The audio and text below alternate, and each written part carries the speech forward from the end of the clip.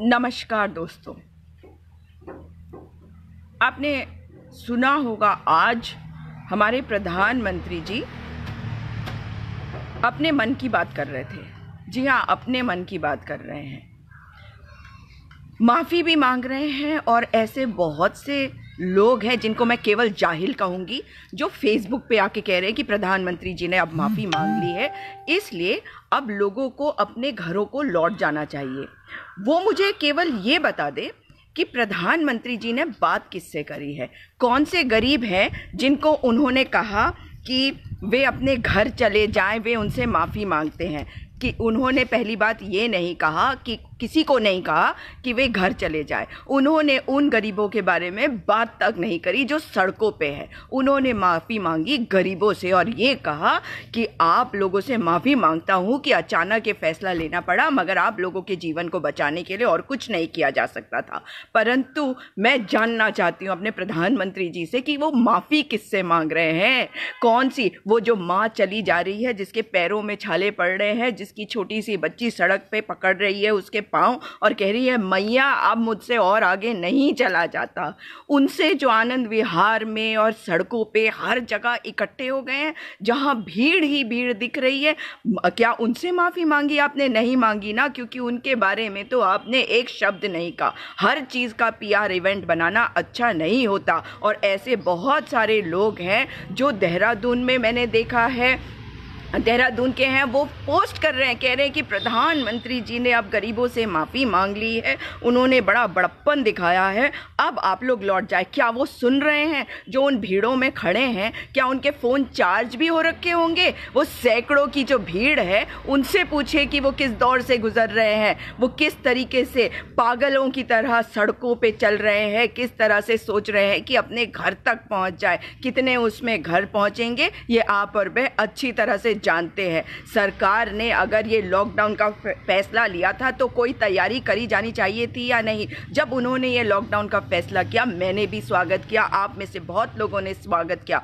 पर क्या आपने देखा? हाँ प्रकाश जावड़ेकर की तस्वीर आ रही है कि बैठ के वे रामायण देख रहे हैं। रामायण ये नहीं सिखाता महोदय, रामायण ये सिखाता है कि बाहर जाइए और लोगों की मदद करिए। जो पुलिस वाले बाहर खड़े होकर लोगों की मदद कर रहे हैं, उनसे ही सीख लीजिए। जो सफ़ाई कर्मी सड़कों पर रहे हैं, उनसे सीख लीजिए। वो अपने कर्तव्य का निर्वाहन कर रहे हैं। आपने संविधान के ऊपर कसम खाई थी, मगर आपको उस कसम से कोई लेना देना नहीं। आपको कोई मतलब नहीं कि सैकड़ों की जो भीड़ खड़ी है, उनके साथ क्या हो रहा है। ये लोग जो भूख से मर जाएँगे। सोच के देखिए, अगर इन्हीं लोगों ने प्रधानमंत्री के आवास को घेर दिया होता तो शायद इनका, इनके खाने का इंतज़ाम, इनके रहने का इंतज़ाम बेहतर तरीके से किया गया होता। आज जिस तरह से ये सड़कों पे घूम रहे हैं। आपने वो तस्वीर देखी है ना, जहाँ पे एक पिता बहराइच ले जा रहा है अपनी दो बच्चियों को और साथ में अपनी पत्नी को।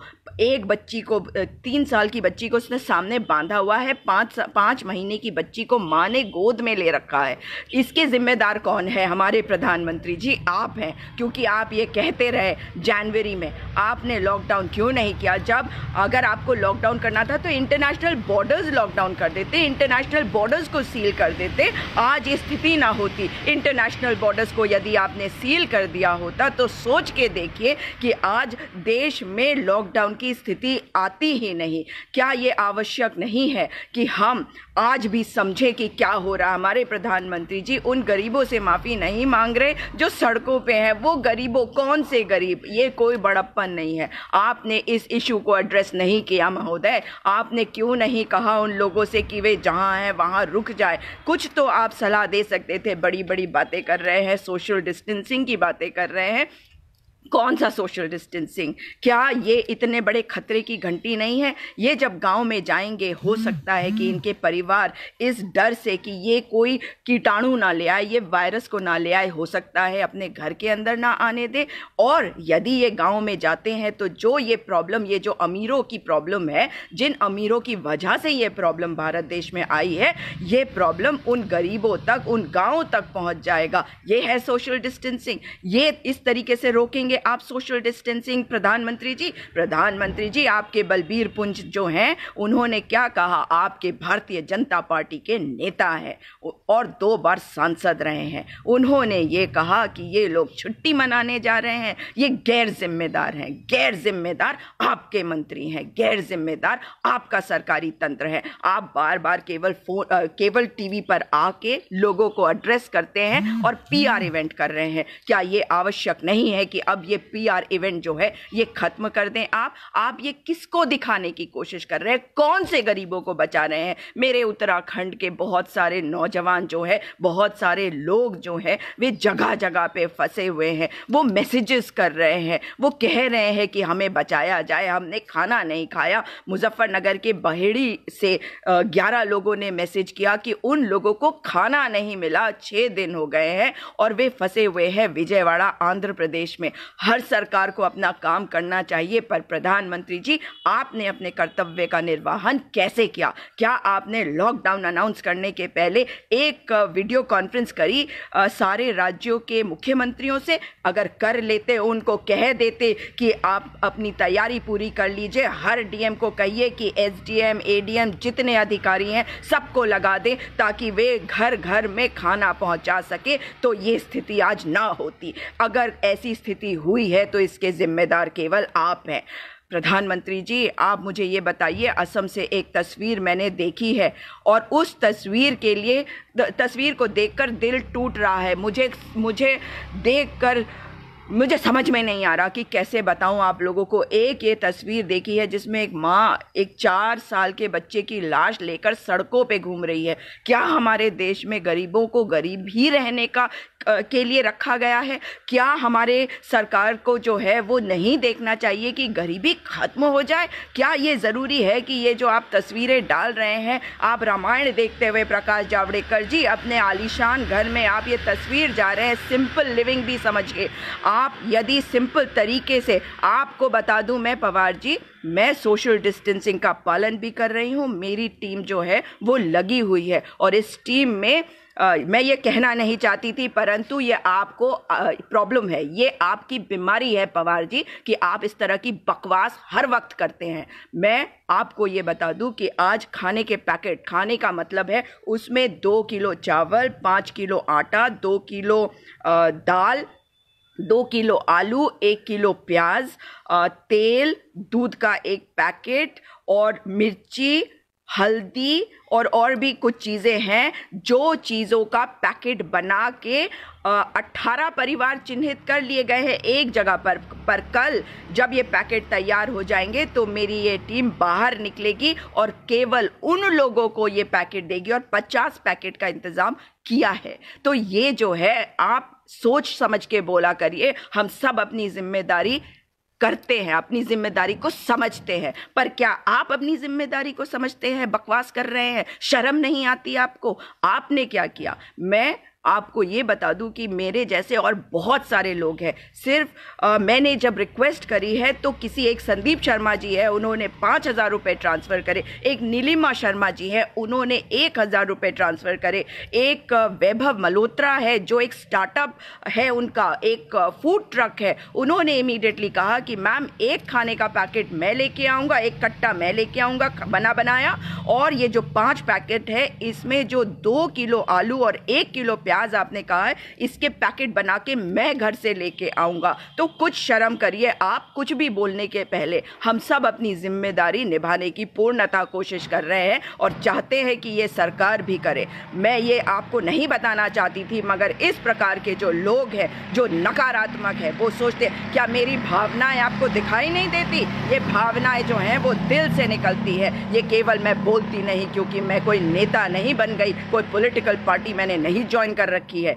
और जो कुछ मैं कर सकती हूँ, मैंने एक व्हाट्सएप ग्रुप बना के लोगों से निवेदन किया है और उसी के तहत ये जो सात आठ हज़ार रुपये आए हैं और ये इसी वजह से, वरना शायद मैं पच्चीस से तीस पैकेट ही कर सकती थी क्योंकि इसके पहले करीब पच्चीस हज़ार मैं लोगों को ऑलरेडी दो हज़ार, तीन हज़ार, पाँच हज़ार, एक हज़ार ऐसे अमाउंट्स दे चुकी हूँ। लेकिन हर एक की एक क्षमता होती है, हर एक व्यक्ति एक लिमिट तक चीज़ें कर सकते सकता है, उससे ज़्यादा नहीं कर सकता। मेरे यहाँ काम करने वाले जो लोग हैं, मैं आपको बता चुकी हूँ छः महीने की सैलरी मैं उनको दे चुकी हूँ।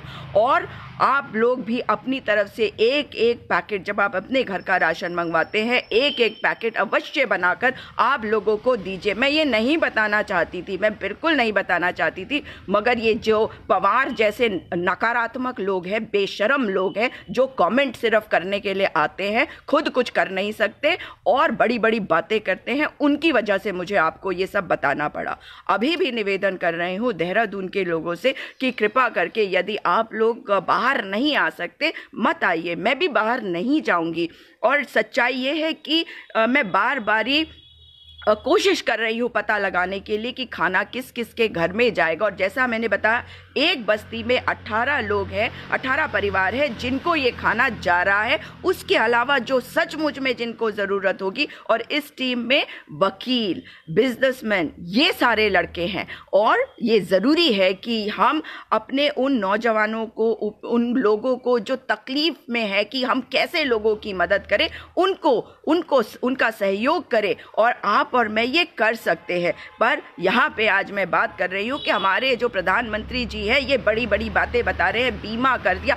किसका बीमा? जो सड़क पे मर जाएगा, क्या उसके घर में पैसा आप भेजेंगे? आपने जो माइग्रेंट लेबर्स हैं, जो रोज के दिहाड़ी मजदूर हैं, उनके लिए क्या किया? आज वो सड़कों पे चल पड़े हैं, अपने घर तक जाने की कोशिश कर रहे हैं और स्थिति इतनी बेकाबू हो गई है कि दिल्ली सरकार को, उत्तर प्रदेश सरकार को बसेस का इंतज़ाम करना पड़ रहा रहा है। ये है सोशल डिस्टेंसिंग सीखे उन पुलिस वालों से जो जगह जगह जाके लोगों को सिखा रहे हैं, उन्हें मास्क दे रहे हैं, उनको बैठा रहे हैं, दूरी बनाने को कह रहे हैं, उन्हें खाने के पैकेट बना के दे रहे हैं। इनसे सीखे। प्रधानमंत्री जी, आपके पास पूरा अमली जामा था कि यदि आप चाहते इस पूरी चीज़ को ठीक तरीके से आप समझा लेते, आप इसको एग्जीक्यूट कर लेते, मगर आपके हर प्लान की तरह ये बेकार प्लान है। पहले आपने कहा कि नहीं, ये भारत को अफेक्ट नहीं करेगा, जनवरी में कहा। फरवरी में आपने कहा कि ये यहाँ, हम लोग बचे हुए हैं इससे।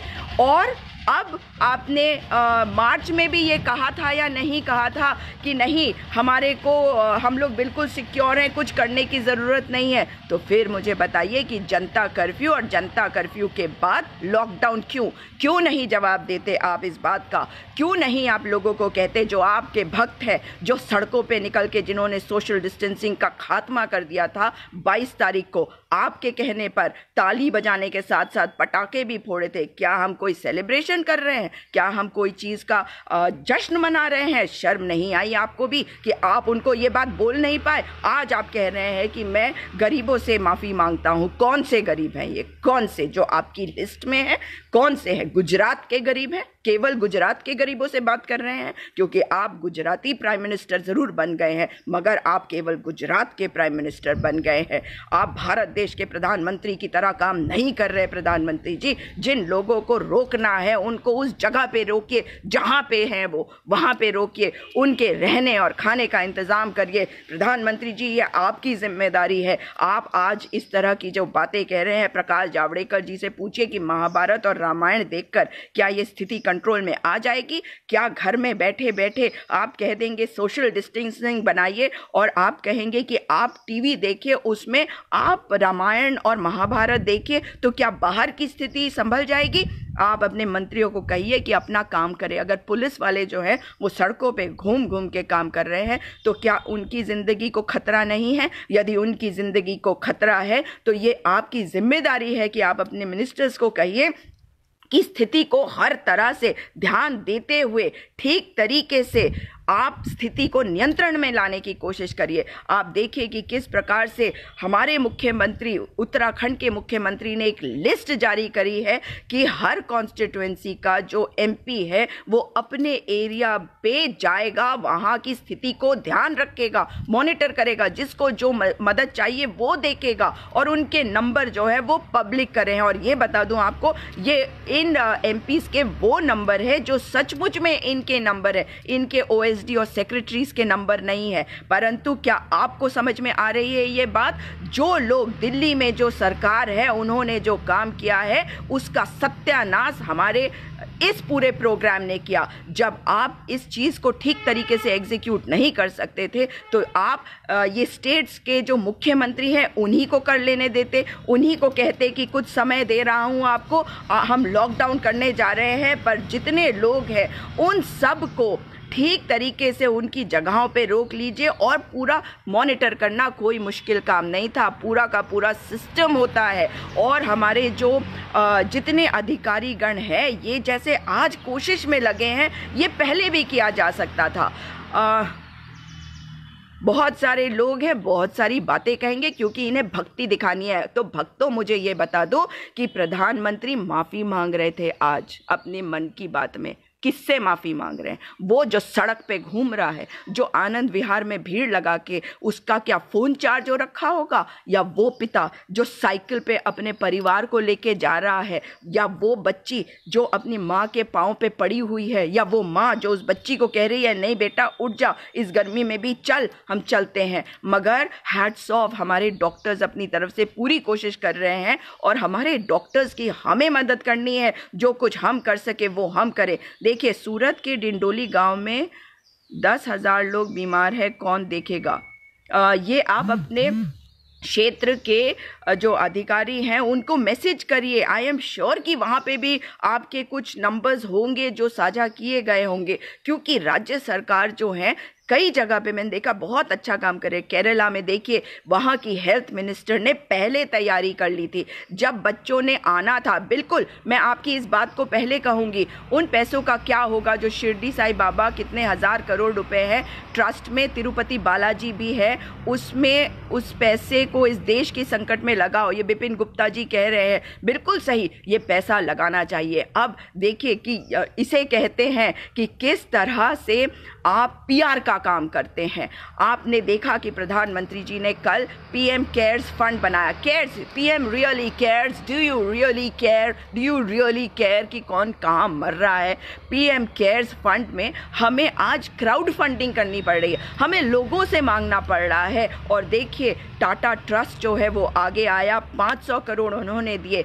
हज़ार करोड़ टाटा सन्स ने दिए। 25 करोड़ अक्षय कुमार ने दिए। 31 लाख सुरेश रैना ने दिए और मुझे उम्मीद है कि और भी लोग जो हैं आगे आके देंगे। परंतु मैं जानना चाहती हूँ कि वो बाईस हज़ार करोड़ जो आपने अलग एलोकेट करके रखे हुए हैं साउथ ब्लॉक को ठीक करने के लिए पार्लियामेंट हाउस को ठीक करने के लिए, वो पैसा क्यों नहीं लगाया जाता?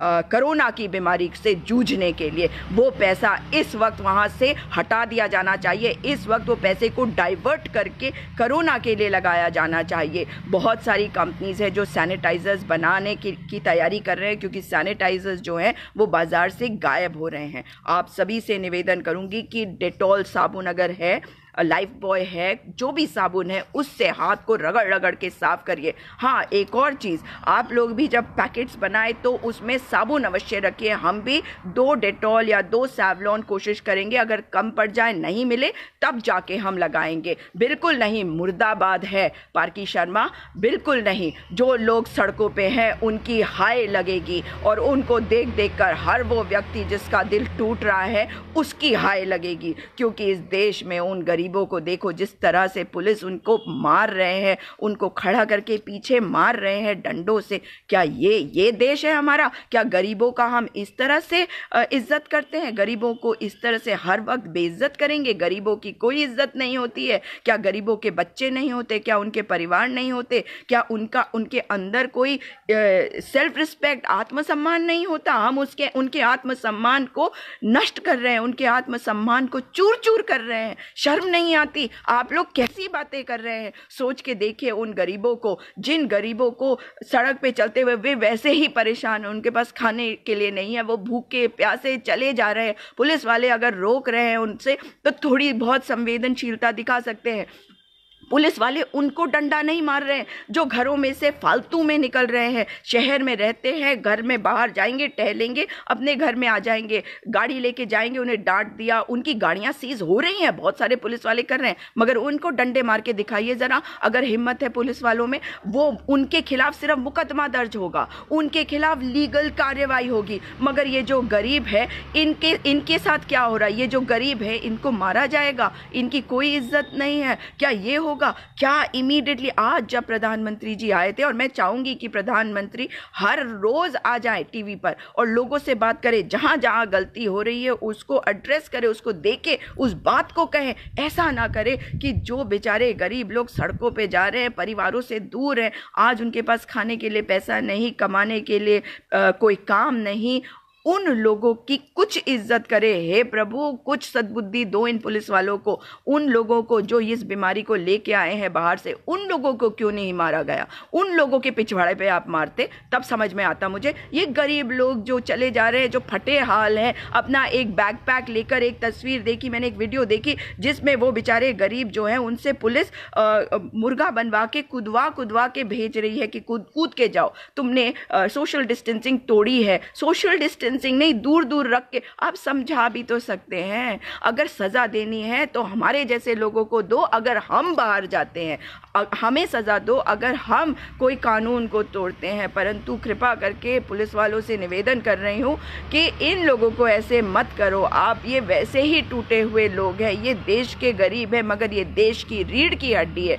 सोचिए घर में काम हो घर में मिस्त्री का काम हो टेलर का काम हो आ, नाई का काम हो होटल्स में खाना बनाने का सर्व करने का, ये वो वाले गरीब है। क्या ये नहीं हो सकता कि हम इनकी कुछ इज़्ज़त करें? तेरह भी प्रतिशत लोग बहुत खुश तुम्हारी बात से।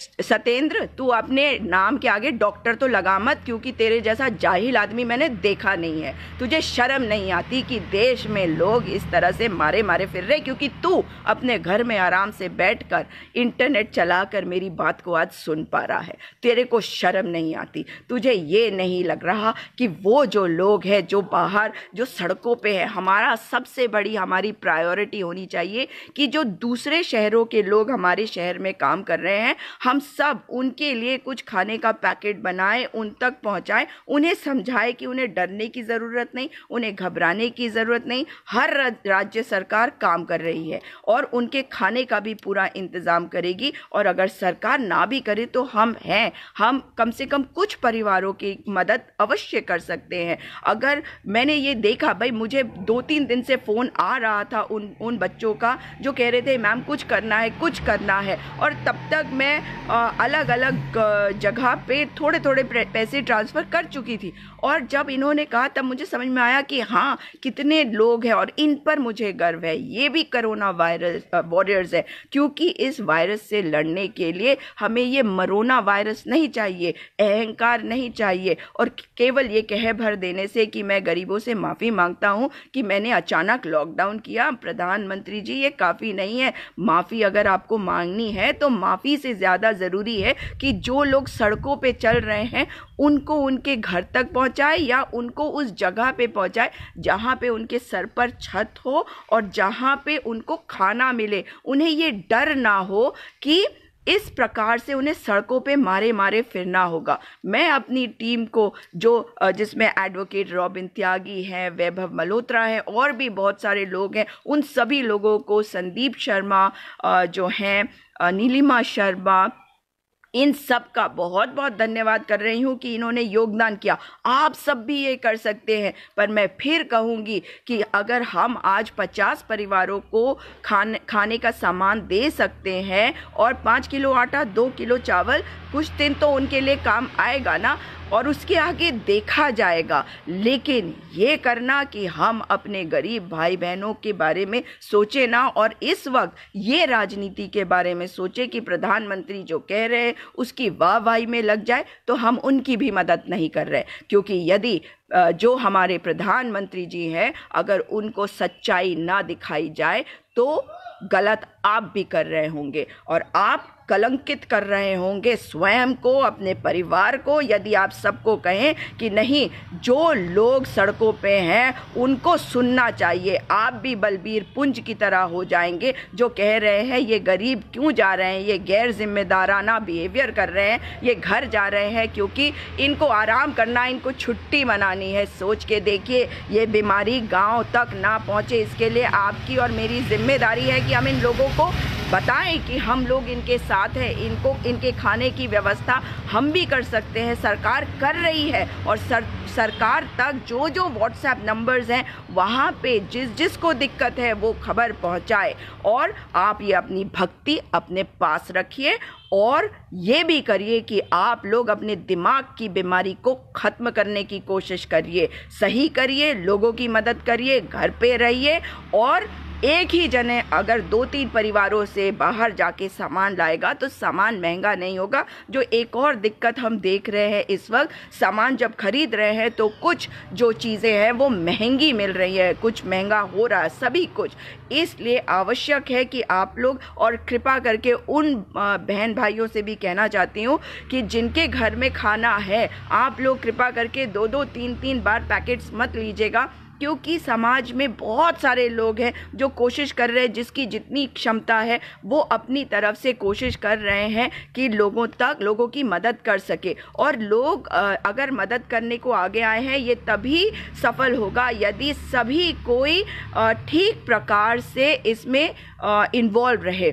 108 के कर्मी जो हैं, उनके लिए भी कहना चाहूँगी, अपनी सरकार, उत्तराखंड सरकार से, कि अभी तक हमने बहुत अच्छा काम किया। हमारे मुख्यमंत्री जी ने कुछ चीज़ें जो है, उसमें हम लोग बोलते रहते हैं, मगर ओवरऑल मैं संतुष्ट हूँ।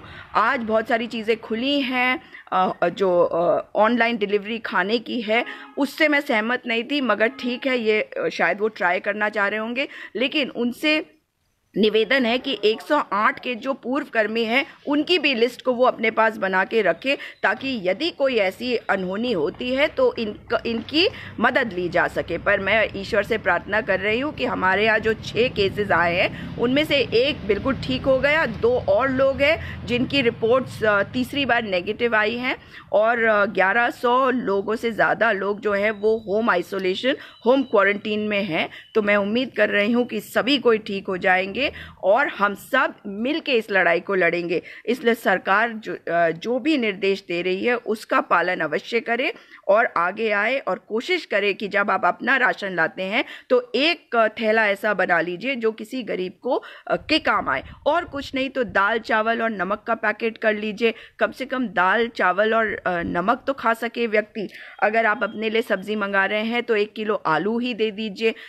और हम सबको भी चीज़ों को थोड़ा संभल के इस्तेमाल करने की ज़रूरत है, सरकार का साथ देने की ज़रूरत है, परंतु ये ज़रूर कहूँगी कि बलबीर पुंज जैसे लोगों को शर्म आनी चाहिए कि अपने घर में आराम से बैठकर इस तरह की बातें करते हैं कि ये ये जो माइग्रेंट लेबर्स हैं, दिहाड़ी मजदूर, ये गैर जिम्मेदाराना है और बिहेवियर कर रहे हैं और घर जा रहे हैं छुट्टी मनाने के लिए। और प्रकाश जावड़ेकर जी, आपने जो महाभारत और रामायण टीवी पे चालू किया है, उसको, उसका लाभ बहुत सारे लोग लेंगे, मगर उससे सीख भी कुछ लेंगे और आपसे भी निवेदन है कि आप भी उससे कुछ सीख लेंगे। और जिस तरह से पुलिसकर्मी, डॉक्टर सफ़ाई कर्मी सबको ही काम पे लगे हुए आप भी बाहर निकल के भी काम करेंगे और देखेंगे। तो साथियों, आप सबसे उम्मीद कर रही हूँ कि अपने आसपास के लोगों की जितनी मदद आप कर सकते हैं, आप करेंगे। आपसे दोबारा मुलाकात होगी। खुश रहिएगा पॉजिटिव थिंकिंग रखिएगा। आप सुबह तैयार ठीक से हुआ करिए। ऐसा ना करें कि घर में है तो तैयार नहीं हो रहे। और आप अपने थोड़ी सी म्यूज़िक सुनिएगा थोड़ा सा फ़ोन पे किसी से बात करिएगा। ऐसे किसी व्यक्ति जो अकेलेपन में डिप्रेशन में जाते हैं, वो डिप्रेशन में ना जाएँ। वो फ़ोन करके एक दूसरे से बात करें। पॉजिटिव थिंकिंग रखें, किताब पढ़े टीवी पे कुछ गाने सुन लीजिए थोड़ा डांस कर लीजिए थोड़ा एक्सरसाइज कर लीजिए और सकारात्मक तरीके से अपने घर में रहिए। बाहर मत जाइए। बा, बाहर नहीं जाना है। अगर हम बाहर नहीं जाएँगे तो इस लड़ाई से बहुत अच्छी तरह से हम लड़ पाएँगे। परंतु जो जो लोग बाहर हैं जो गरीब हैं उनके बारे में सोचिए, उनके लिए भी आज हम प्रार्थना करें, ऐसा निश्चय करिए। उनको, उनके गणतव्य स्थान पर पहुँचने में मदद हो, सरकार उन्हें अगर रोके तो उनके लिए अच्छे इंतज़ाम हो, कोई गरीब इस देश में भूख से ना मरे, ऐसी प्रार्थना अवश्य करे। देश से गरीबी हटे, ऐसा ना हो कि गरीब हट जाए, जैसा आज हो रहा है। प्रधानमंत्री जी से उम्मीद कर रही हूँ कि अगली बार देखेंगे और मांगेंगे माफ़ी उन लोगों से जो सचमुच में उन्हें सुन नहीं पाए। और प्रधानमंत्री जी से ये भी उम्मीद कर रही हूँ कि जहाँ पे जो व्यक्ति है, उसको वहाँ रोक कर उसके खाने पीने रहने का इंतज़ाम करवाएँगे। इस सिलसिले में जाने से पहले योगी आदित्यनाथ अच्छा काम कर रहे हैं। उनका बहुत बहुत धन्यवाद। और केरला की जो स्वास्थ्य मंत्री हैं, उनका मैं आपको बता दूँ, केरला में बहुत सारे बच्चे वुहान के मेडिकल स्टूडेंट्स इस बीमारी के साथ वापस आए, मगर उन्होंने पहले ही तैयारी कर ली थी। इसलिए अभी तक केरला में एक भी मौत नहीं हुई है, जबकि आंकड़ा जो है, वो 180 के पार जा चुका है। तो अगर हर एक कोई अपनी ज़िम्मेदारी ठीक से निभाएगा तो हम सब अपनी सरकारों का साथ दे सकेंगे और सरकार को सही सुझाव और सही बात बता सकेंगे। दोबारा मुलाकात होगी। सभी को कोविड वॉरियर्स के लिए प्रार्थना करते हुए, उनका धन्यवाद करते हुए आप सबसे ये निवेदन करती हूँ कि आप भी ऐसा करें। नमस्कार। जय हिंद।